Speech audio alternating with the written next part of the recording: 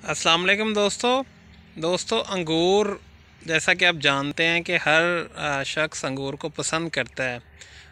अंगूर अपने जायके के लिहाज से दुनिया में अपना एक मुनफरद मुकाम रखता है।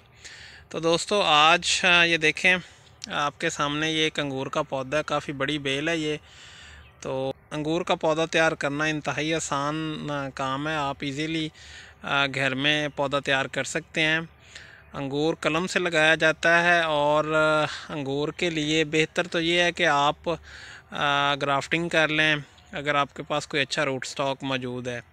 तो दोस्तों, आज मैं आपको दिखाऊँगा कि किस तरह आप इससे भी बेहतरीन जो तरीका है एयर लेयरिंग का, उसे इस्तेमाल करके एक तैयार पौधा तैयार कर सकते हैं, एक फुल बड़े साइज़ वाला पौधा।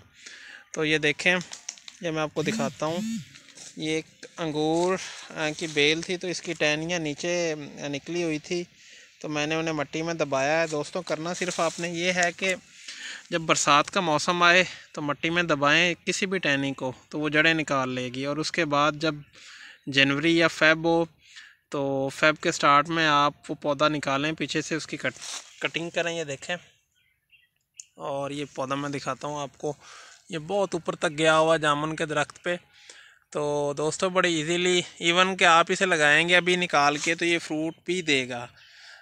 तो क्योंकि अभी ये मिच्योर पौधा और फ्रूटिंग पे है तो आप इजीली अंगूर की बेल से जितने चाहें पौधे तैयार कर सकते हैं। दोस्तों, इस तरीके को ये देखें, ये कितनी जड़ें निकली हुई हैं। ये एक पौधा ये तकरीबन पंद्रह फिट से अबव इसकी टहनी का साइज़ है। तो दोस्तों, आप जितना मर्ज़ी बड़े साइज़ का पौधा तैयार कर सकते हैं, बड़ा आसान है इजीली तो दोस्तों, अगर आपके कोई क्वेश्चंस हों तो काइंडली कमेंट लाजमी करें, ताकि कमेंट्स के आंसर किए जा सकें। दोस्तों वीडियो को लाइक कर दें शेयर कर दें, और अगर अभी तक आपने चैनल सब्सक्राइब नहीं किया तो काइंडली सब्सक्राइब लाजमी करें, ताकि आपको न्यू वीडियोज़ की जो अपडेट्स हैं, वो मिलती रहें।